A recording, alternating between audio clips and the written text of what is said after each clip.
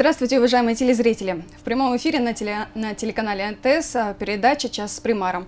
В студии Лидия Посларь и примар города Тараклея Филиппов Сергей Николаевич. Здравствуйте, Сергей Николаевич. Добрый вечер. Давно не было вас в нашей студии. Вопросов о работе городских властей накопилось немало. В течение получаса мы постараемся обсудить самые важные из них. Затем э, задать свои вопросы смогут наши телезрители.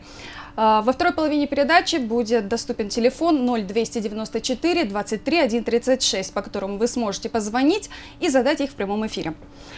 Сергей Николаевич, первый мой вопрос. Первое полгодие 2014 года уже прошло. А, в нашем городе произошло немало событий, а, какие-то проблемы были решены, какие только, реш... какие-то только решаются, и вполне вероятно, что появились новые. Если можно, в общих чертах расскажите о социально-экономическом положении города, что и как, чем живет город сейчас. Ну, для того, чтобы говорить о развитии города за первые полгода, нужно необходимо э, как бы напомнить, что такое примария города. Это не 14 штатных сотрудников, а это 500 э, человек, которые подведомственны данной примарии. Самое, одно из самых крупных предприятий или учреждений на территории города. Крупнее только Агроглет э, компания и также по финансам. Э, бюджет города составляет 12 миллионов, и из этих 12 миллионов э, около 5 миллионов идет на оплату труда. Хочется отметить, что только 47% на себя государство, это 1,8 миллиона берет по оплате работников культуры, детских дошкольных учреждений и других подведомственных организаций. Остальные деньги, это деньги местные, это деньги налогоплательщиков, поэтому э, довольно-таки рутинная работа по исполнению бюджета и самая одна из основных забот примара это э, своевременная выдача заработной платы. Так вот, 500 человек в течение прошлого года и полгода на данный момент э, безукоризненно день в день получают свою заработную плату и свои отпуска, хотя мы часто по телевидению видим там или там или где-то там э, есть акции протеста, что люди не получают собственную зарплату. Поэтому зарплата это номер один. Э, если говорить о 2013 году, то э, это был год достаточно непопулярных действий, когда мы Э, нам приходилось делать достаточно болезненных реформ. Э, наша задача была сократить на 1 миллион излишние затраты на содержание зданий. Чего, я думаю, мы сделали успешно, потому что этого миллиона в бюджете не было, это либо нужно было утраивать налоги для экономических агентов и для населения, поднимать налоги, либо сократить эти затраты. Этот миллион был сокращен. Э, Получили в то же время мы больше, чем на миллион доходов. К сожалению, рассказать, куда мы его применили, я не могу, потому что э, он пошел на повышение исторической задолженности. Э, в момент начала моей деятельности Примария имела баснословную сумму задолженности в 22 миллиона. На сегодняшний день она составляет только 800 тысяч. Поэтому, кроме очередной работы, выдачи зарплаты, у нас шли э, работы по снижению э, вот этой нагрузки по задолженности. Э, но, э, тем не менее, люди заметили, что 2013 год, год 200-летия, был достаточно эффектным, достаточно заметным э, по изменению облика города. Это стало возможно только благодаря работе огромной команды. Хочется напомнить, что я как представитель партии коммунистов и первый секретарь выиграв выборы, э, у нас 19 человек э, в городском совете от партии коммунистов, 18 в районном совете, в том числе и председатель. И мне кажется, что в истории существования местной власти еще никогда не было такой слаженности в работе, потому что э, часть советников работает в городском совете, часть в районном. И только благодаря общим усилиям и общим, э, общей работе в определенных направлениях мы добились э, определенных успехов. И э, как бы почувствовав э, в, в рамках республики, то я скажу, что среди 32 районных центров Тараклия занимала 26 место по рейтингу. Теперь мы э, находимся на 15 месте по рейтингу городов. Это исполнение бюджетов, это вложение капитальное, это э, освоение тех или иных э, средств по по, по, по социальной защите, также по э, показателям в сельском хозяйстве. А среди городов э, с населением менее 15 тысяч, Тараклия с 10 места перешла на первое место. Это кратко, если говорить об итогах. Э, начиная с начала года, то нашей главной задачей, мы помним, каким был трудный год, январь это достаточно снежный, мы также одни из немногих городов, где ни на секунду не прекратилась работа общественного транспорта, все улицы были вовремя расчищены, и э, ни одно детское учреждение закрыто не было, хотя во многих районных центрах и во многих населенных пунктах были вынуждены э, прекратить работу э, детских дошкольных и школьных учреждений в связи с непогодой. В Тараклии этого не произошло.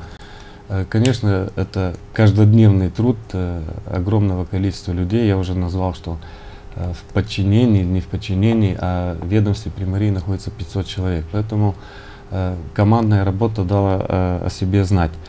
Э, на, была задача февраль-март закончить все-таки работу по консолидации, не консолидации, по вопросам необрабатываемой земли. Если я просмотрел перед этим видео двухлетней давности, то в студии 50% звонков было от людей, которые не могли получить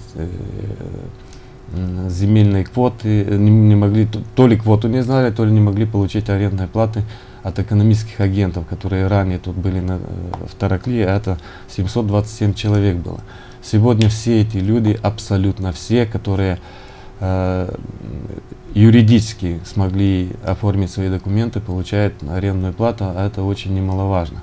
Э, я думаю, что достаточно большой прорыв и если три года назад мы въезжали в Тараклию, и с правой стороны там и с левой были пустыри, заросшие бурьяном, и тут в сторону больницы, и далее мы видели печальную картину в сельском хозяйстве, то сегодня с гордостью могу сказать, что эти поля, благодаря сельхозпроизводителю, э, дают 50 и более центнеров той или иной культуры. Это не может не радовать, и сегодня практически каждый почек в Тараклии обеспечен зерном. А, Сергей Николаевич, одним, одним из немаловажных элементов работы жизни города это муниципальное предприятие. Работая над одной из наших последних передач о прошедшем национальном форуме, мы поговорим еще об этом позже, мы опросили людей, какие изменения они почувствовали на себе за два года. Многие из них говорили, что в городе стало заметно чище. А, вот а, по поводу подачи воды, в частности работе АП «Канал», положительных отзывов мы не услышали. Какова ситуация с муниципальными предприятиями э, города сейчас? Э, ситуация это одна из самых главных проблем. Если э, в подведомственных учреждениях у нас более или менее работа налажена, то хочу заметить, что муниципальные предприятия это предприятия, которые мы являются учредителем городской совет, но они абсолютно самостоятельно являются хозрасчетными предприятиями и объекты примарии, сама примария, учреждения так, являются такими же потребителями, как и население. Поэтому очень хорошо знаем эту проблему. Э, к сожалению, э, работа их э, остается желать лучшего. Например, предприятие Верденица, когда мы сделали подробный анализ, зарабатывая деньги по утилизации мусора, по уборке города, в пределах зарабатывала где-то 480 тысяч, э, выплачивала заработной платы своим работникам, и когда мы заметили, оказывается, из этих 480 тысяч 230 тысяч получал только административный аппарат. Пришлось идти на достаточно болезненную реформу, и всех рабочих, не меняя штатного расписания административного аппарата АП-канал, мы перевели э, в муниципальное предприятие АП-канал. Теперь эти 260 тысяч высыпавшихся средств будут идти э, непосредственно на улучшение инфраструктуры предприятия. По АП-каналу э, достаточно сложная ситуация. Э, два с половиной года назад э, у предприятия было около миллиона восемьсот тысяч долгов. На сегодняшний день их значительно меньше, но тем не менее э, данные долги, мы впервые не имеем долга перед соцфондами, медстрахом, э, никаких абсолютно долгов практически нет по заработной плате, но э, ситуация остается достаточно критичной, потому что э, у предприятия есть задолженность перед э, экономическими агентами, которая сформировалась более 4 и 5 лет назад. Э, учитывая сложные ситуации, мы э, запросили внешних аудиторов э, через проект, э, опять же, USAID, оплатил аудиторов, которые э, работали здесь, э, группа. независимых экспертов в области, в техническом направлении и в области э, финансов и экономики. Э, результат, который был выдан, конечно, желает быть лучшего предприятия, если оно не будет э, модернизировано, либо не будет реорганизовано в какую-то другую правовую форму, всегда будет существовать на, на данном уровне. Я бы не сказал, что оно стало то ли хуже, то ли лучше. Но вот этот процесс, если не стагнации, не умирания предприятия, он остановлен, но тем не менее вопрос об улучшении э, пока не стоит. Но я все-таки надеюсь, что это пока, потому что на данный момент мы ведем работу с фондом, Национально-экологическим фондом, э, объявлен тендер, уже есть победители, где-то через недели-две, я думаю, начнется работа по замене энергоемкого оборудования насосов на насосных станциях э, этого предприятия, потому что сегодня э, ужасающие цифры, что 3,5 киловатта электроэнергии уходит на добычу одного кубометра воды. Конечно, эта вода не может быть дешевой, и, и мы первое, что начнем, это подачу в микрорайон, э, здесь наверху многоэтажные, э, многоэтажные дома, подачу воды круглосуточно. Это будет первым шагом. Но из-за изношенности сетей, из-за энергоемкого а, оборудования сегодня себестоимость одного кубометра воды составляет 13 э, леев 50 бань. Конечно же, мы позволить себе э, принять такой тариф, который при условиях нерегулярной подачи воды, отсутствия ее качества достойного, мы этого не можем делать, и мы э, пока этого делать не будем, мы будем идти на снижение затрат. Но э, нам представлен э, план улучшения, план деятельности и улучшения предприятия, поэтому э, по этому плану мы думаем, что уже где-то к октябрю-ноябрю уже будет заметное изменение, которые на самом деле смогут почувствовать. Но говорю, что все эти годы мы работаем на э, более погашение более одного миллиона долгов. Эти долги нас, к сожалению, тянут обратно, и мы не можем полной мере заняться действительно истинной реорганиза реорганизацией, модернизацией данного предприятия. Модернизацию реорганизацию население не почувствует, потому что это будут внутренние вопросы. Э, для населения самое главное, чтобы открыв кран, там была вода. То есть в городе стал, э, вернемся к Верденице по поводу э, чистоты в городе, то есть стало теперь чище благодаря реорганизации муниципального предприятия Верденица. К сожалению, может быть цинично, но у нас получается так, что если там э, 8 человек работали на благоустройстве, а 12 человек это административный аппарат, э, конечно, эти люди тоже должны работать, но ним не должно так быть, чтобы человек целый день кидая лопатой, имел в полтора-два раза меньше зарплаты, а чиновник имел в два раза больше. Поэтому э, при том же штатном расписании АПА канала, руководства и всего остального, мы передали им эту функцию, э, тем самым сократив затраты на 230-260 тысяч. И я думаю, что э, люди, перешедшие туда в зарплаты, не потеряли, скорее всего, они в этой зарплате почувствуют некоторые улучшения в сторону повышения. И путем слияния этих двух предприятий э, АПА-канал даже сможет получать дополнительные, дополнительные, дополнительные доходы. Э, на сайте, на нашем сайте nts.md, на форуме там тоже задавали вопросы по поводу бесперебойной подачи воды. Э, вот, что мешает реорганизации АПА-канала, и, и стоимость воды совсем не маленькая. Куб воды почти в два раза дороже газа. А если считать со стоками, то ну, я... Э, скажем так, что э, если сравнивать с газом, но тут не сравним, потому что одна бутылка минералки стоит столько, сколько куб воды. Тоже, казалось бы, немножко несоответствие. А мешает круглосуточной подаче воды, я уже одну из причин назвал, это огромная стоимость э, электроэнергии в этом самом кубе. Второе, изношенность сетей. Есть сети, которые у нас, участки, которые практически на 100% изношены. Мы подавая, чем больше подаем воду, тем больше мы получаем потерь, потому что я уже назвал цифру себестоимость этой, этой воды на сегодняшний день 13,50. Мы должны идти не на повышение тарифа, но на снижение затрат на, на, на этот кубометр.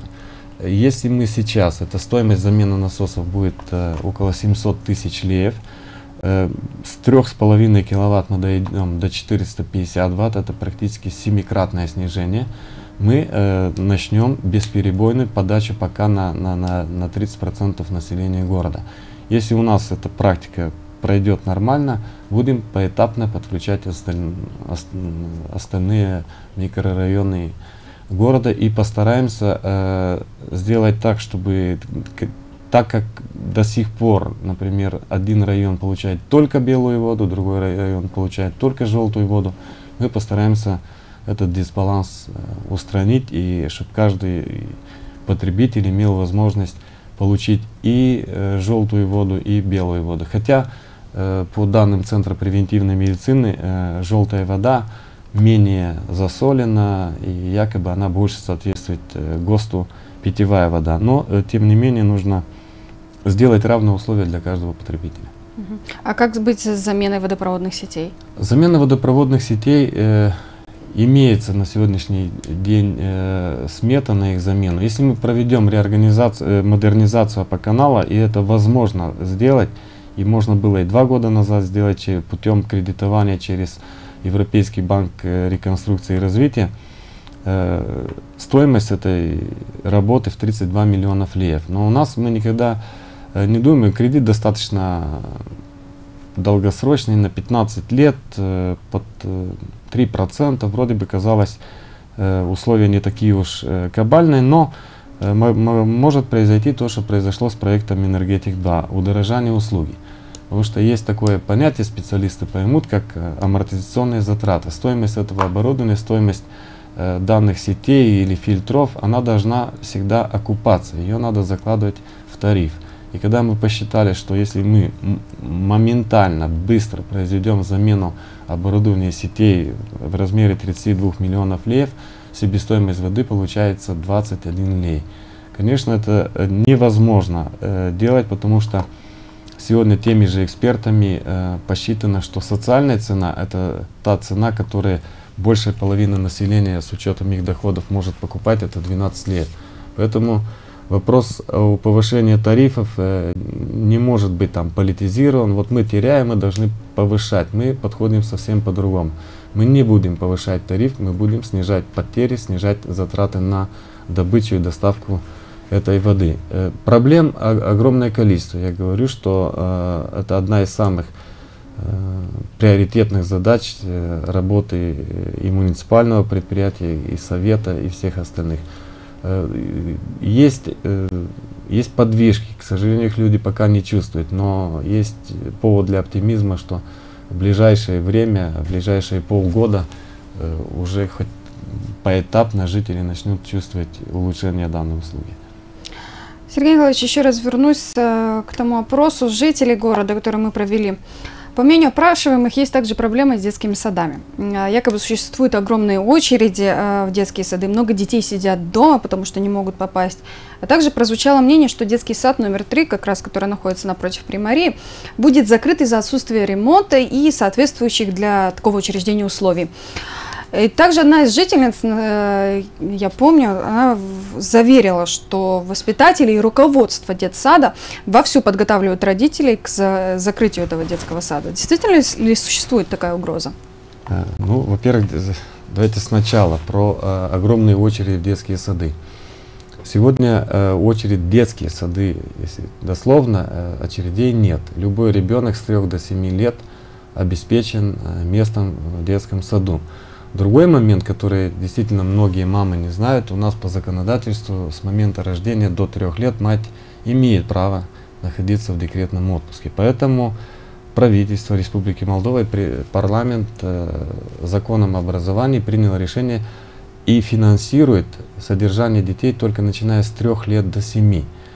Э, детей с трех лет, менее, менее трех лет, до трех э, лет. До, до трех лет, с полутора до трех лет – это ясельные группы, они не финансируются государством. Содержание их в детских садах города Таракли обходится в полтора миллиона леев. Это деньги, которые не покрываются государственным бюджетом, а они должны идти от каждого жителя в виде налога на недвижимость, земельного налога, это налоги с объектов торговли. Поэтому мы всегда говорим, и скорее всего в этом году э, проведем не чуть ли референдум, могу сказать, по тому, должны быть данные детские сады существовать, э, ясли в, в детских садах, либо нет, потому что каждый житель, работающий в городе Таракви, со своего подоходного налога, со своих налогов содержит данных детей. Э, на сегодняшний день яслями э, обеспечены 120 детей из 150, поэтому очередей в яслях нет. И ясли мы, э, учитывая, что это людские деньги, предоставляем только для работающих мам. Сегодня нет проблем, что если мама где-то там работает в полиции, э, в здравоохранении, в образовании, э, это острая необходимая специальность для этих учреждений, чтобы она не могла выйти после полутора лет на работу. Такого нет. Но если мать сидит дома, и ребенок в полтора года должен идти в детский сад, э, содержание одного ребенка 940 э, леев в месяц. Так, э, извините, получается на людской шее этот ребенок, мама ничего не делая, может быть там где-то по на море съездил или еще там, занимаясь своими личными делами, отдыхая в течение дня от ребенка, возложила эту обязанность на население города, то, конечно, мамы не работающие, они эту льготу не получают. Но э, по вопросу третьего детского сада решение э, было еще два года назад. Э, в данный момент через проект Фонда социальных инвестиций э, идет работа по получению гранта в размере 1 миллиона по реконструкции данного детского сада. Более 2 миллионов он будет по первому детскому саду. Он будет реконструирован. Э, по, по проекту энергосбережения в пределах 2 миллионов.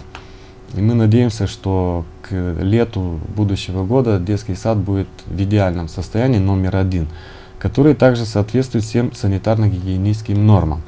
И после всего этого там сад на 30 детей больше, там вмещаемость где-то 154 ребенка, в отличие от 110, которые сегодня в третьем детском саду. В третьем детском саду 5 групп, э, в первом после его реконструкции будет 7 групп. И на май будущего года каждая мама, пожелавшая сдать, отдать своего ребенка в ясли, она будет иметь эту возможность. Но на сегодняшний день громадных очередей нет. Есть 5, 6, 7, 8 заявлений от матерей, не работающих матерей, ни супруг, ни она не работает, э, проживает либо с родителями, которые не обеспечены этой услугой. Это повторюсь, ясли это льгота, потому что содержание ребенка э, обходится налогоплательщиками именно города Тараклии. Государство о них не заботится. Поэтому Тараклия является одним из немногих районных центров, где есть ясли. В других городах это либо частные, либо полностью 100% оплачиваемые. Только в Тараклии э, данную услугу родители оплачивают 100% питания, и то с 1 сентября будет 50%, но э, питание ребенка это 240 леев в месяц э, при 100%. Остальные 700 леев это за счет налогов.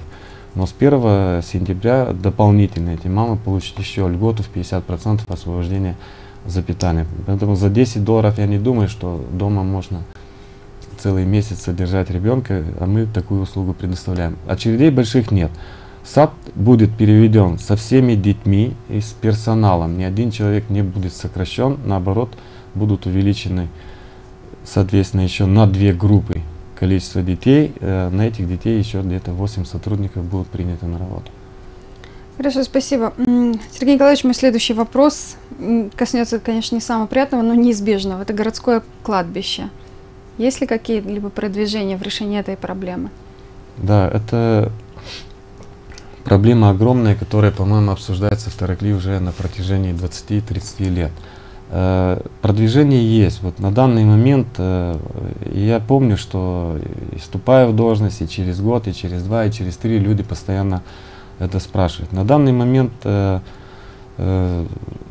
мною согласовывается место расположения нового кладбища с религиозными общинами, с церковью, с церковью города Тараклия, Свято-Георгиевской с э, просвитерами, руководителями всех э, религиозных конфессий города, потому что наши же люди составляют приходы этих церквей для того, чтобы мы учли мнение каждого человека с учетом его вероисповедания.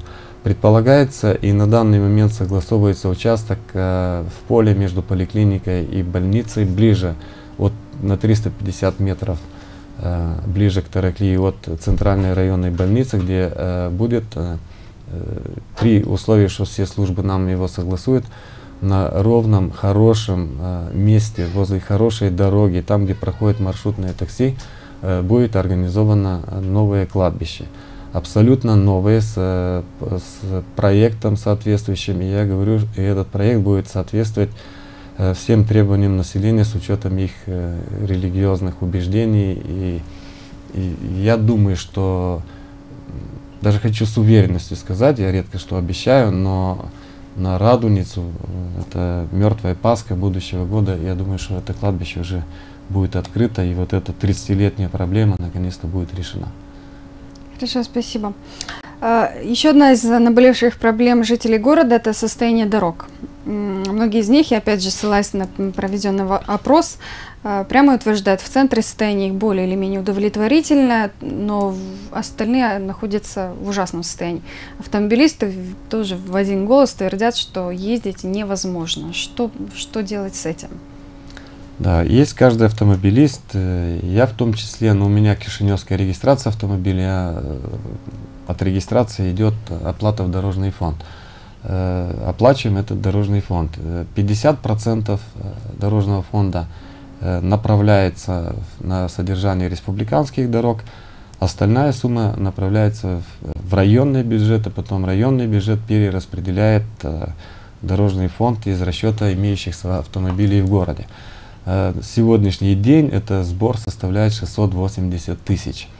Вот мы сейчас начали ремонт э, дороги, думаю, что до э, во второй декаде августа мы его закончим. Э, на данный момент стоимость укладки одного куба э, асфальта стоит три с половиной тысячи леев. Конечно, баснословные цены на, на данный э, вид услуг э, не позволяет сильно, так скажем, раскрутиться. И мы единственное, что стараемся, и стараемся, я думаю, успешно, потому что э, уже хорошо, что хоть какие-то участки нормально. Э, его хватает только на латание дыр по э, маршруту движения э, автобусов и общественного транспорта. До конца августа, скорее всего, будет отремонтирована дорога от центра города до Балабан, это до выезда на М3 и э, будут отремонтированы все, все те участки дорог, по которым проходит общественный транспорт. К сожалению, на, на остальное средств не хватало. Но тут есть еще такой момент, который э, вызывает э, много вопросов. Э, в прошлом году э, правительство приняло решение наконец-то выделить фонд на содержание местных дорог ну, внутри э, населенных пунктов. До сих пор этого фонда не было никогда прямо скажем. И на эти цели было запланировано 420 а, миллионов леев. И я думал, тоже будет справедливо э, посмотреть по количеству дорог, э, протяженности дорог в Тараклии в городе 86 километров. И думал, из этого расчета эти деньги будут распределены. Но, к сожалению, опять произошло цветное финансирование, опять подключились политические силы. И Александр Иванович здесь в студии говорили, например, для села Салчи, ничего против не имею этого села, из этого фонда было выделено 800 тысяч, городу Тараклия 0. Э, если мы э, с министром транспорта э, говорили, когда он находился здесь в Тараклии, что на каждый вложенный лей городом э, Министерство транспорта даст свой лей. Мы э, произвели этого ремонта, и есть тут хорошие участки дорог, и все с большим оптимизмом на 1 миллион лей. И сделали э, предположение, что мы сможем еще столько же сделать после э, финансовой поддержки Министерства транспорта. Это называется конкурентные гранты. Но мы предлагали 50%, не 15, не 20, а 50% при условии, что Министерство обеспечит остальные 50. К сожалению, этого не произошло, и мы отделались э, простым, извините, не получилось. Поэтому э, из дорожного Э, фонда, местного дорожного фонда республиканского, который составляет 420 миллионов, Тараклия ни одного лея не получила, поэтому мы обходимся только собственными средствами. Я очень надеюсь, э, и это произойдет, в будущем году у нас после вступления нового закона о местных публичных финансах будет э, средства в размере 3,5 миллионов леев и мы сможем как-то более радикально, хотя бы радиально от центра дальше продолжить улучшение тех дорог, которые, по которым сегодня пройти невозможно. Сегодня в городе в пределах 15 из 86 э, километров дорог на 15 километрах э, при дождях и снеге просто нельзя, невозможно проехать, только пройти пешком. Спасибо, Сергей Николаевич. Уважаемые телезрители, э, с этого момента вы можете звонить э, к нам в студию по телефону 0294 21 36 и задавать свой вопрос примару города Сергею Филиппову. Э, как мне подсказывают, уже звонят. И первый вопрос. Бывший работник Верденицы Матей Георгий задает вопрос. На каком основании развалили Верденицу? В принципе, мне кажется, вы достаточно четко ответили. И еще один вопрос. Житель города Таракли спрашивает о том, что будет с его деньгами, так как он на год вперед оплатил услуги э, э, по вывозу мусора. Будут ли они переведены на новое предприятие по каналу? Да, конечно, абсолютно. Вы показываете документ, подтверждающий, нужно показать документ, подтверждающий, что вы эту услугу оплатили до конца года, и, и все это вам будет там засчитано правопреемственность остается, и никто дополнительных средств вас взыскивать или по-новому не будет, если у вас есть подтверждающий на то документ. Хорошо, спасибо. Ждем пока звонков. У меня будет следующий вопрос. Вот э, Сергей Николаевич, возвращаясь к теме прошедшего форума в нашем городе а, по, поддержке, по проекту поддержки местных органов власти э, Агентства Соединенных Штатов по международному развитию. На форуме нашего сайта пользователи интересуются, я не процитирую, просто расскажу содержание. Почему вы сотрудничаете с этим агентством, э, и он переплетает это с вашей политической позицией относительно внешнего вектора развития, так как они полностью, на его взгляд, э, противоположны? Да, я читал э, комментарии, что агентство международного развития, проект USAID был выдворен из Российской Федерации и с некоторых других стран, Беларуси он вообще не работает.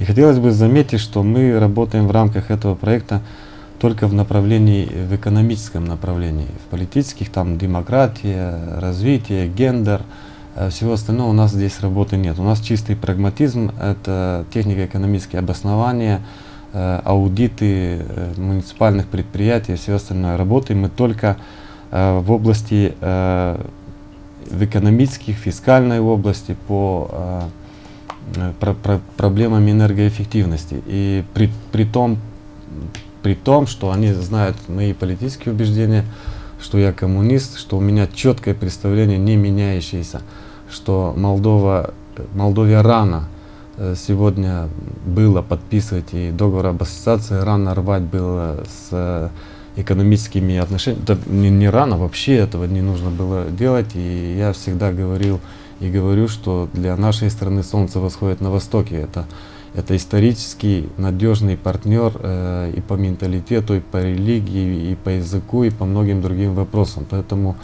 э, непоколебимо мое мнение, что восточный вектор это спасение для Молдовы. Э, но, тем не менее, мы должны э, там, где есть интерес города, там, где есть интерес населения, где есть э, э, прагматизм, мы должны работать во всех направлениях, независимо э, какая это страна и с какими она политическими взглядами смотрит на этот мир. Спасибо, Сергей Николаевич. Мне подсказывают, что у нас есть... Э, говорите, пожалуйста. Добрый вечер. Сергей Николаевич. Ну, по-моему, вас станция уже, извините, но опять станция вас беспокоит. Угу. Ну, я как общественник, это Тулуш. Вы меня знаете, извините, спасибо, что вы нам делали. Ага, и моих детей. А по поводу еще хочу задать вопрос. Вот, понимаете, автобусы пошли, да, три рейса. Но мы вот стоим на мельнице, эту несчастную остановку разобрали. Вот я приехала с больницы, а полтора часа простояла с двумя детьми дети красные, спрятаться некуда. Да когда он же ее разобрал, когда же он ее восстановит? Вот сердце остановку поставил. А почему он ее разобрать разобрал? А почему не поставить-то? Хоть где-то укрыться. Я понял вас. Э, Если касается остановки, э, я очень, э, если вы заметили, реагирую на все замечания, и с вами мы вообще постоянно встречаемся, на те замечания, которые из со станции поступают, что не было магазина, не было остановки, не было транспорта.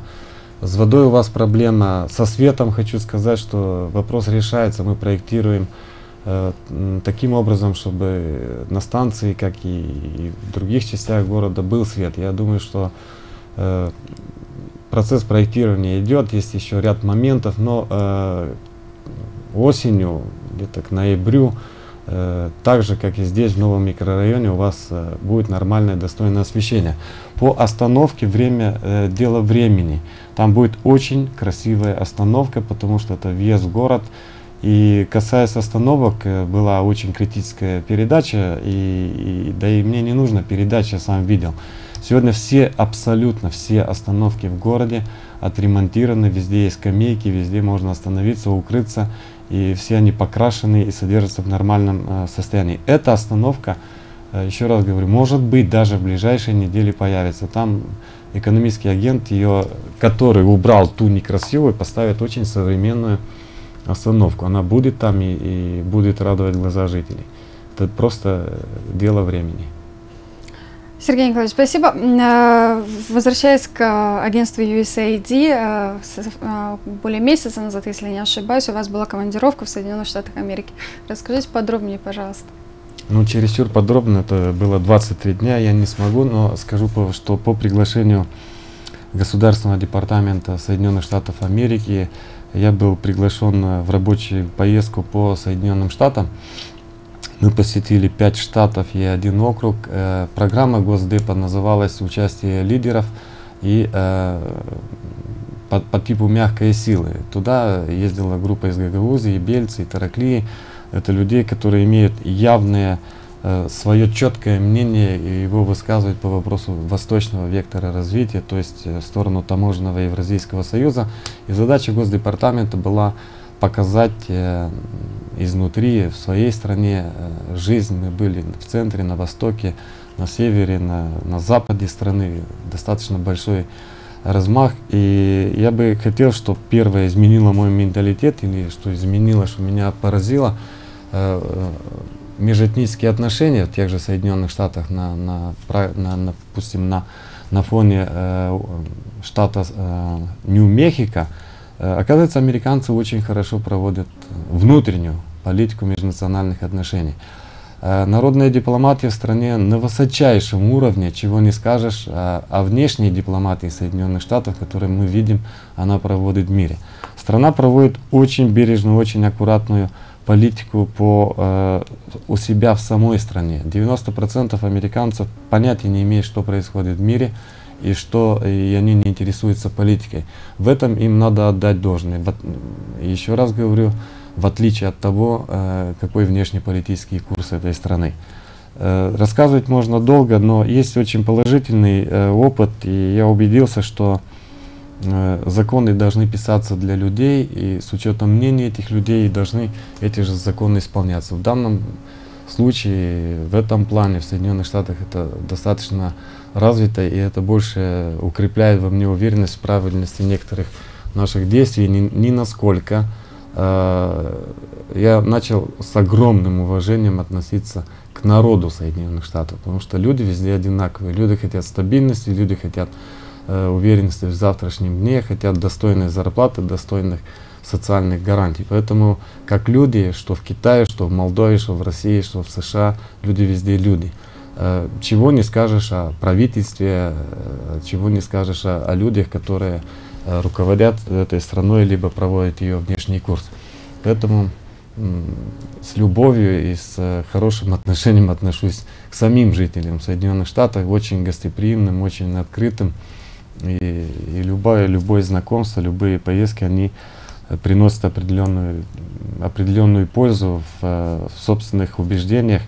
Э, сразу же хочу заметить, что за все годы моей работы не было потрачено ни одного лея на мои командировки. Все, э, все поездки, как и данная поездка, была оплачена полностью Государственным департаментом Соединенных Штатов Америки. Сергей Николаевич, у нас есть звонок. Алло, здравствуйте, говорите. Да, добрый вечер. А Татар Георгий, житель э, микрорайона, район поликлиники. Сергей Николаевич, такой вопрос. В конце мая было обращение, в том числе и в адрес Примарии, о э, разрешении вопроса по подаче количества, качества воды, в том числе и питьевой. Через месяц был суд граждан, на котором присутствовали представители, в том числе и Примарии. А было обещано, что в течение полутора-двух месяцев данный вопрос будет полностью разрешен. То есть будет обеспечена бесперебойная подача воды и будет каким-то образом разрешен вопрос подачи питьевой воды. Поскольку во всех договорах у нас обозначена подача питьевой воды. На сегодняшний день абсолютно ничего не сделано. Вода плохого качества, точно так же подается периодически. Питьевая вода э, забирается из э, колодцев, которые сделали сами жители. Кстати, на письменное обращение в адрес, в том числе Примарии, вы не дали до сих пор ответа, хотя был указан конкретный обратный адрес. Хотелось бы услышать ваше мнение по этому поводу. А, кстати, исходя из того, что на сегодняшний день договора САПа канала по подаче воды закончились, новые договора не заключены. А, поэтому, в общем-то, предполагается, что, наверное, все это будет точно так же а, прокомментировано, но, наверное, так ничего не сделано, как не сделалось, не делалось в последние четыре года. Пожалуйста. А в предыдущие 4 года или, или, или 20 лет до этого, вы, наверное, пропустили, э, пропустили начало программы. Мы начали с АП канала.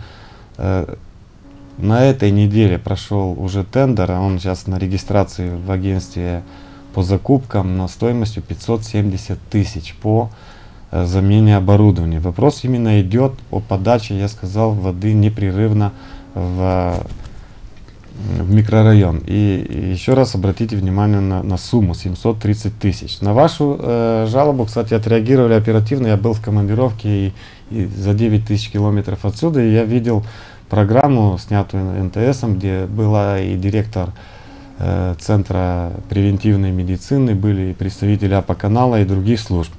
Э, если это было обещано и сказали, что будут приниматься какие-то меры, будут приниматься, но 730 тысяч, это почти более полумиллиона, мне кажется, это деньги. И работы по замене данного оборудования с целью подачи непрерывной воды будут продолжены. Но, наверное, вам тогда сказали, что ряд мер должны быть предприняты и жителями, потому что и в договорах, новые договора я очень настоятельно рекомендую вам заключать, потому что отсутствие договоров будет поводом для отключения. В договорах, э, договора ну, необходимо заключить. И в договорах указано, что как и в частном доме, это точка, э, первый колодец к дому. Дальше уже нужно кое-какие меры предпринять самим жильцам по внутренним сетям для того, чтобы улучшить качество. Я сказал, что где-то к октябрю-ноябрю мы постараемся в первую очередь вот эти 30% населения, которые сказал обеспечить бесперебойной воды, это именно вот этот район, поликлиника, Мира 12, Мира 14 и вот эти 6 или 7 э, многоэтажек. Э, поэтому призываю сотрудничать и почаще заходить, и мы сами вместе решим эту проблему. Но сумма 739 э, тысяч уже есть, и работа уже, как говорится, на уровне документов начаты. Практически они начнутся, может быть, уже в первых числах сентября, и в течение месяца мы должны их закончить, потому что ждать до зимы не, невозможно. Спасибо, Сергей Николаевич. У нас есть еще один звонок. Э, добрый вечер. Э, Сергей Николаевич, у меня опять вопрос по, насчет по воде. Мы своими силами провели э, трассу ну, в месяц идет один раз э, воду, а остальное все воздух. Цены поднимаются, а мы платим за воздух. Если вот есть конкретные дни, когда идет вода, я понимаю, но пока пойдет вода, идет целый куб э, воздуха. А этот куб нужно платить. Этот вопрос очень легко решается, если вы установите водомер, который реагирует только на воду. и, а не на воздух. Там э, проблемы в изношенности трасс, мы говорили, в разных ее диаметрах. И э, водопровод построен, говорят, 4 года, последний не меняется. Э, проблема с водой в Тараклии была с момента основания Тараклии. Поэтому э, разные диаметры, есть много очень моментов, почему этот воздух появляется. И от него уйти можно только, только одним способом. Э, установить э, водные, водяные водомеры, или как они называются, которые э, не пропускают, не прокручивают данный воздух. Другого, по-моему, другого варианта не будет. Оно всегда будет, этот воздух всегда будет мешать, и, и нужны, не знаю, какие огромные вложения, которых нет, и сейчас обманывать вашу с 1 октября воздуха не будет, это невозможно, потому что менять надо где-то 90 километров трассы. Э, этого не произойдет. Единственное решение задачи этого, это замена водомера на водомеры, которые не фиксируют воздух. А, по-моему, телезрительница еще э, что-то говорила по поводу того, что вода подается раз в месяц.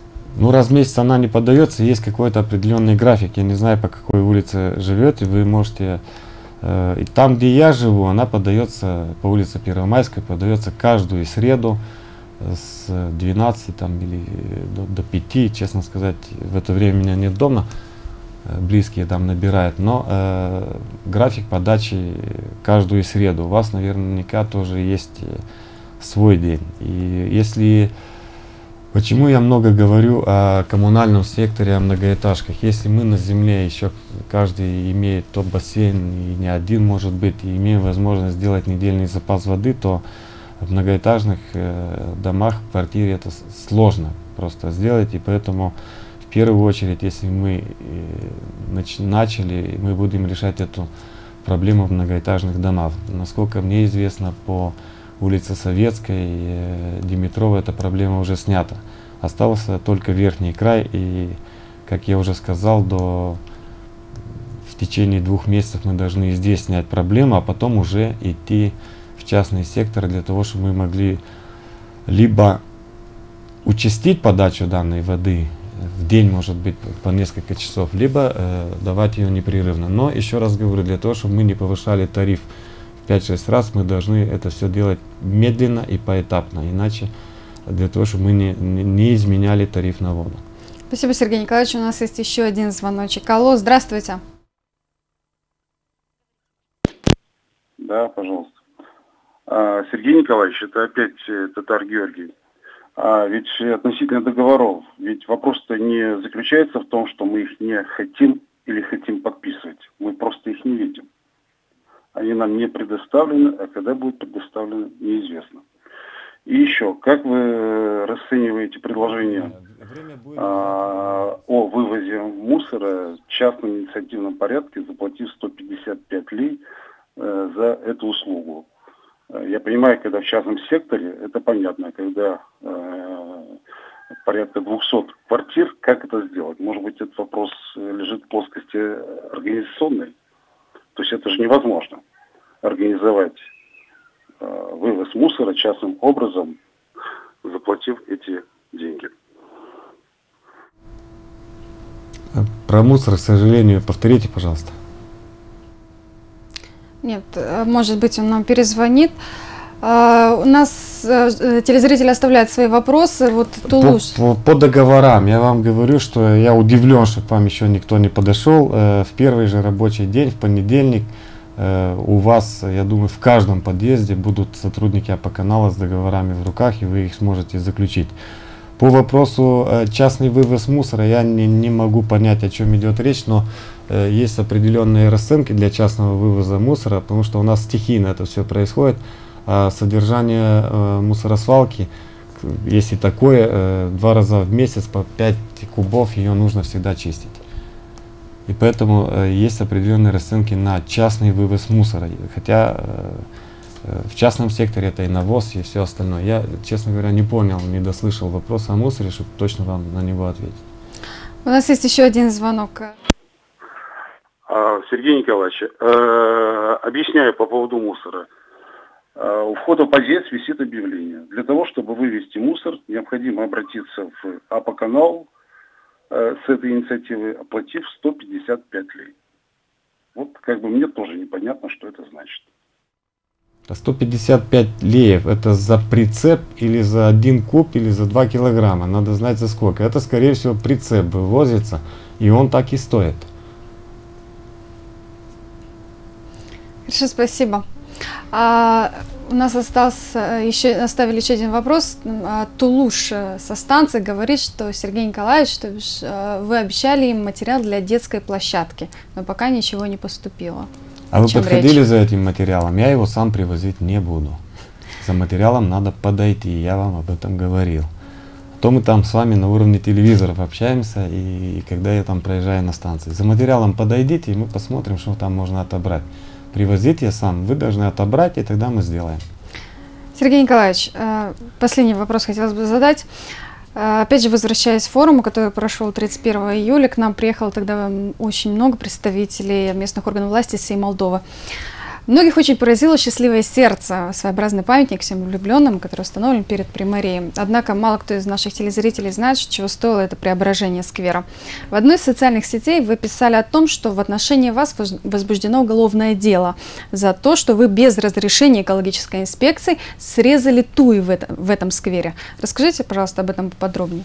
Да, это так, и на сегодняшний день э, дело передано в суд, и я привлекаюсь по статье 328 Уголовного кодекса, которая гласит нанесение ущерба общественным интересам в особо крупных размерах, в размере 168 тысяч, э, повлекшие тяжкие последствия. Статья предусматривает от 3 до 5 лет э, тюремного заключения, и самое главное там с отстранением от должности и без права занятия этой должности в течение пяти лет. И вопрос идет вот э, о сквере перед э, примарией города Тараклия. Там сегодняшний день находится МРЭО, находится и ЗАГС. И, конечно, видя те заросли, видя то ужасное состояние, было стыдно, что там человек впервые начинает счастливую жизнь с этого момента. И мы бы хотели сделать таким ярким пятном, красивым, этот участок для того, что в первую очередь э, город существует не для его руководства, а существует для людей и, и, и самое главное для молодых людей, чтобы они могли как-то с гордостью сказать, вот я Староклия, я Тараклиец. И э, поэтому сквер был благоустроен. Многим людям я знаю, что он нравится, но тем не менее из-за отсутствия одной по, э, подписи согласования господина Болтакова э, и после его, его рвений, там спустя полгода все не хотели принимать дело, это дело все-таки приняли. Центр по борьбе с коррупцией разводит руками, закрыл это дело, потом прокуратура по борьбе с коррупцией по просьбе, тут опять же э, оппозиционеров. Вот мне очень приятно, когда я вот с людьми э, о чем-то отделе мы говорим, э, говорим о работе, говорим о проблемах, стараемся их каким-то образом решать, для того, чтобы это было видно, что они решены, это не просто разговоры. Но, а, не побоюсь сказать, у нас есть два человека в Таракле, которые вот целью своей поставили там политические интриги. Это Андрей Георгиевич Узунов, представитель госканцелярии, э, который до сегодняшнего дня дело в суде э, по э, супермаркету Линелла, и вот это господин Балтыков. Это люди, которые, допустим, Андрей Георгиевич лампочки не вкрутил, какой-то помощи там оказать или, или хотя бы не мешать. Но э, два человека, которые себе поставили целью, вот все, что ты не сделаешь, это все должно быть плохо. Поэтому и дело-то находится в суде, и не бывает ни одного начатого дела для того, чтобы эти люди не накатали какую-то кляузу или какую-то жалобу в Центр по борьбе с коррупцией или прокуратуру по борьбе с коррупцией, либо еще какие-то органы. Э, сами сотрудники уже говорят, что они устали от этих анонимок, устали от всяких там представлений. Э, мне кажется, что ущерб общественным интересам должны были оценить сами люди. И как мог один чиновник э, оценить данный ущерб? Хотя э, многие знают, и люди мне звонили, как жестоко были вырублены посадки здесь, Тараклии.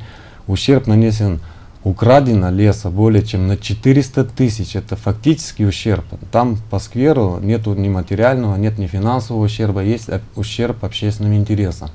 А тут при попустительстве господина Балтакова, кстати, за что он был уволен с должности, в смысле отстранен от должности начальника, единственное, чем он обошелся, но украдены сотни кубов леса, срезаны при его прямом попустительстве.